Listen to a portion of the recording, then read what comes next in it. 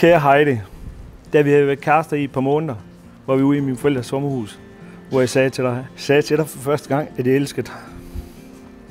Siden den dag har jeg ikke været et sekund i tvivl om, at du var den eneste ene. Jeg har aldrig været i tvivl om, at vi skulle købe hus sammen. Jeg har aldrig været i tvivl om, at vi skulle have børn sammen. Jeg er ikke i tvivl om at dele resten af livet med dig. Jeg elsker dig så højt for, for det, du gør, for at gøre, at jeg aldrig er i tvivl. Det var en stor oplevelse, da vores to drenge kom til verden, men det var mindst lige så stor oplevelse, da du kom op i kirkegulvet til mig. Jeg er så beæret over at være din mand nu. Jeg elsker dig af hele mit hjerte, Heidi. Jeg over at passe på dig resten af min tid.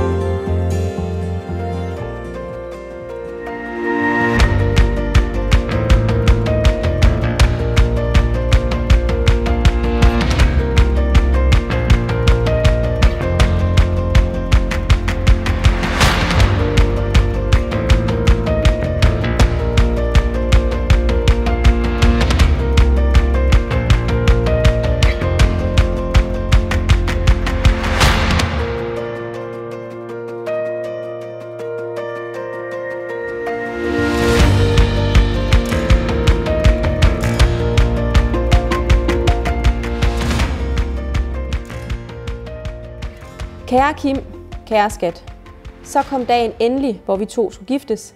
En dag, vi begge har set frem til, og en dag, som vi har ventet på i spænding. Der har været rigtig meget, der skulle holde styr på, fordi vi to ville have den allerbedste dag med vores familie og venner. Vi ville skabe vores dag, vores bryllup, og ingenting skulle overlades til tilfældighederne. Jeg må sige, jeg synes, vi er kommet ret godt i mål. Kim, jeg elsker dig. Jeg elsker dig til livets ende og vil gå igennem ild og vand for dig.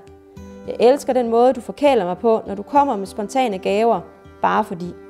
Bare fordi jeg elsker dig, som du siger. Jeg synes, du er spændende at leve med. Der sker altid noget i vores liv. Vi giver hinanden plads og støtter hinanden i vores beslutninger. Den lille familie, den lille firekløver, vi har opbygget, er jeg stolt af. Jeg er stolt af det liv, vi har og stadig former sammen, og jeg er beæret over det trygge hjem, vi har skabt for vores drenge. Selvom det har kostet mange prøvetimer, så må jeg også erkende, at du ser fantastisk og smuk ud i dag. Jeg er stolt af, at jeg nu kan kalde dig min mand. Os to for evigt og altid.